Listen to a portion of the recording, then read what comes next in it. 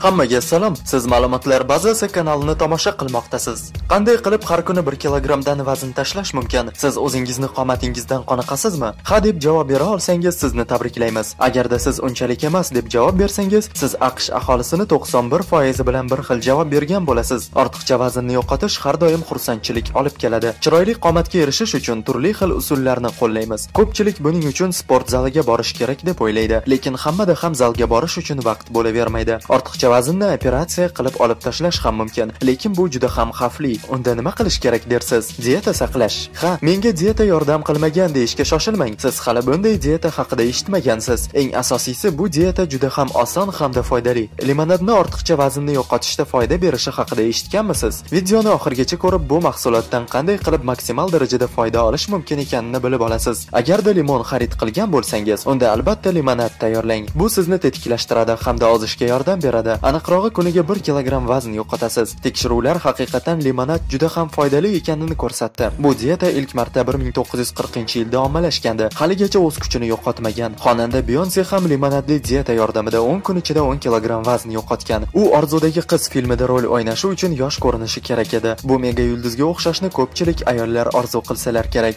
Limonadli dieta beyonsedan tashqari Naomi Campbell hamda Jared Letolarga ham foyda bergan. Jared Leto filmda rol o'ynashi uchun to'rt yillik ish tajribasiga ega sovsavdo.ru internet magazini o'z xaridorlariga Ramazon oyi ichida bepul dastavka va skidkalarni e'lon qiladi. Agarda sizni 10 yil ichida sochingiz to'kilib ketib chiqmagan bo'lsa, soqolingiz chiqmagan bo'lsa, bir oyda 10 kg semirmagan bo'lsangiz yoki bo'lmasam ozmagan bo'lsangiz vitiligo psoriaz kasalliklari. tanadagi har xil oq dog'lardan foyda ko'rmagan bo'lsangiz endi sov savdodan pulingizni qaytarib olishingiz mumkin bo'ladi sov savdo.ru internet magazini moskva sankt peterburgdagi o'z xaridorlariga uyingizgacha dastlabki besplatniy holatda xarid qilishingiz mumkin hoziroq telefon qiling hamda Avtoalam kanali nomini aytib turib dastavkani besplatniy xarid qiling 28 kilogramga semirishi kerak edi. Film suratga olish yakunlangach, uni yana o'z holiga qaytib ozishi kerak bo'lgan. Ana o'sha paytda unga ham limonadli dieta yordamga kelgan. Faqat bir jihati bor. Hamma dietalarda bo'lgani kabi bu dietani ham foydali, ham zararli jihati bor. Asosiysi yiliga ko'pi bilan 3-4 marta limonli dietadan foydalanib organizmni tozalash kerak. Dieta jarayoni 10 kun. Yillik hisobda 40 kundan oshmasligi kerak. Bu dietani ilk 4 kunida har kuni 1.3 dan to 1.8 kilogramgacha vazn yo'qotasiz. Qolgan kunlar kunlari esa o'rtacha 400 grammdan vazn kamayib boradi. Umumiy hisoblaydigan bo'lsak, har kuni o'rtacha 1 kilogramm vaznga to'g'ri keladi. Keling limonli sharbatni chuqurroq o'rganib chiqsak.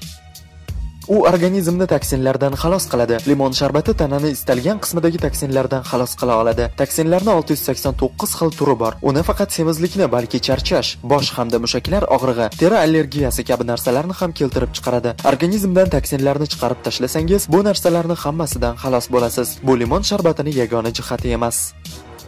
Immunitetni kuchaytiradi. Limonda C vitamini borligini juda yaxshi bilamiz. Ha, bu o'sha shifokorlar maslahat beradigan vitamin. U shamollashni ham oldini oladi, immunitetni ham kuchaytiradi. Har kuni tanangiz ma'lum miqdorda C vitaminini yo'qotadi. Limon sharbati esa bu yo'qotishni o'rnini to'ldiradi.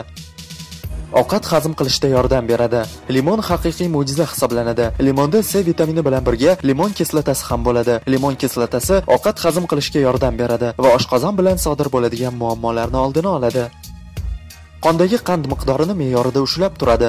Sog'ligimiz yomonlashmagunicha qonimizdagi qand miqdori bilan umuman qiziqmaymiz. Bu esa diabetga hamda buyrakdagi, ko'z hamda yurakdagi qon tomirlarining zararlanishiga olib kelishi mumkin. Shuning uchun ham uni oldini olish lozim. Limon sharbati bunda ayni muddao bo'ladi. Hamma narsani zararli tarafi ham bo'ladi. Limon sharbati ham bundan mustasno emas. Uni ham me'yoridan ortiq iste'mol qilish zararli. Organizmdan toksinlar chiqayotgani sababli charchoq hamda bosh og'rig'i kuzatilishi mumkin. Qisqa muddat ichida harakatlanish. Limonadli dieta birinchi navbatda ichaklarni tozalaydi. U sizni qisqa muddat ichida ozishingizga yordam beradi, lekin bu uzoq davom etmaydi. Sizni tanangiz yana yog' to'play boshlashi mumkin. Sizni organizmingiz ochlikka ko'nikmagan bo'lishi aniq. Bu uning uchun kutilmagan hol bo'ladi. Dieta yakunlangach organizmingiz kelajakda yana shunday hollar uchun yog' to'play boshlashi mumkin. Siz limonadli dietani foydali hamda zararli jihatlarini bilib oldingiz. Endi asosiy qismga o'tsak. Hozir limonadli sharbat tayyorlash retseptini ko'rsatamiz. Buning uchun 8 stakan suv, 6 ta limon suvi, yarim stakan asal, bir nechta muz bo'lagi hamda 10 ta yalpiz barglari kerak bo'ladi. Suvni iliting, lekin qaynatib yubormang. Suv harorati 60 gradus gradusdan oshmasin. Keyin hamma ingrediyentlarni qo'shing va bir necha soat xolodilnikka solib qo'ying. Keyin esa sharbatni suzib oling. Qarabsizki, foydali sharbat tayyor. Iste'mol qilishingiz mumkin. Limonadni iste'mol qilishdan oldin har doim unga muz bo'laklarini qo'shing. Negaki sizni tanangiz sharbatni isitish uchun ko'proq energiya sarflaydi. Har kuni nonushtadan 30 daqiqa oldin bir stakan limon sharbati iching. Keyin esa tushlikdan oldin ham iching. Kechki ovqatdan oldin ham ichish talab qilinadi. Uxlashdan oldin ham yana bir stakan sharbat ichishni unutmang. Qanday qilib sharbatni toksinlardan xalos qilib tanadagi yog'larni parchalashga undash mumkin? Bu haqida ham o'rgatamiz. Unutmang, suv sizni do'stingiz. Kuniga kamida 1.8 litr suv ichish kerak. Nonushta, tushlik, kechki ovqat o'rniga oz-ozdan 5 mahal ovqatlaning. Bu oshqozonni me'yorida ishlashiga yordam beradi. Foydali taom tanlang. Oqsillarga boy taomlar iste'mol qiling. Bularga go'sht, baliq, tovuq go'shti, tuxum, sut mahsulotlari, loviya, soya, yong'oq hamda sabzavotlar kiradi. Iste'mol qilayotgan kaloriyani hisoblab ko'ring. Iste'mol qilayotgan kaloriyani hisoblab boring. Kunlik iste'mol qilayotgan mahsulotingiz kaloriyasi 1200 dan oshmasligi kerak. Bu 250 kaloriyalik taomdan 5 mahal iste'mol qilish kerak degani. Dieta vaqtida jismoniy harakatlar bilan shug'ullaning. Ko'proq harakatlar qiling. Bu mashg'ulotlar o'zingizga ham yoqishi lozim. Masalan, velosipedda sayr qilish yoki suzish. Bu oddiy sport zalda shug'ullangandan ko'ra ancha yoqimliroq. Dietaga ham jismonan ham ruhan tayyorlaning. Dietani boshlashdan oldin dietolog bilan maslahatlashishni unutmang. Limonadli dieta boshlashdan oldin tunda o'simliklar damlamalaridan iching. Ertasi kuni tongdan esa vanna qabul qilib sog'lom turmush tarziga amal qiling. Yuqorida aytib o'tilgan qoidalarga amal qiling. Sharbat ham retseptga amal qilgan holda tayyorlangan bo'lishi kerak. Va nihoyat dieta yakunlangach, ko'p taom iste'mol iste'mol qilishga odatlanmang. Bu yaxshilikka olib kelmaydi. Bu dieta sizni toksinlardan xalos qiladi. Ovqat hazm qilishni yaxshilaydi. Buyrak faoliyatini ham me'yoriga keltiradi. Butun organizmni tozalaydi. Mushaklardagi ortiqcha yog'larni yo'qotadi. Qon aylanishini ham yaxshilaydi. Shubhasizki, limonad ortiqcha vazndan xalos qiladigan eng foydali narsaga aylanadi. Umid qilamizki, video sizga yoqdi. layk bosib kanalimizga obuna bo'lishni unutmang. O'z fikrlaringizni esa kommentariyalarda yozib qoldiring.